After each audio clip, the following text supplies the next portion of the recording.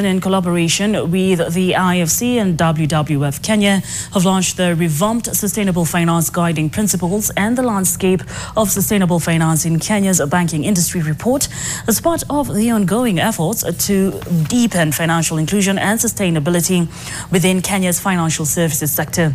Developed with um, IFC's support, the revamped Sustainable Finance Guiding Principles provide a robust framework for banks to integrate environmental environmental, social, and governance, that's ESG considerations, into their operations. Alignment with global standards of fosters responsible lending, sustainable investments, and innovative financial solutions that address Kenya's socio-economic and environmental challenges.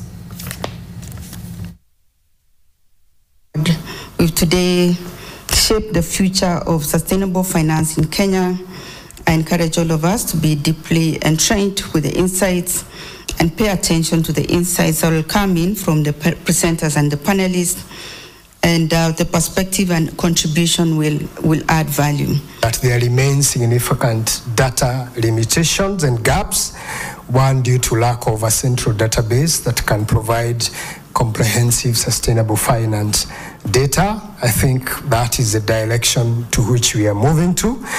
And uh, of course, a significant number of banks, as has been mentioned here, do not publish integrated or separate sustainability reports. And those that publish, uh, of course, apply different standards that were listed there by laws, and that makes comparability from the accounting point of view difficult. All right, so on to our final business.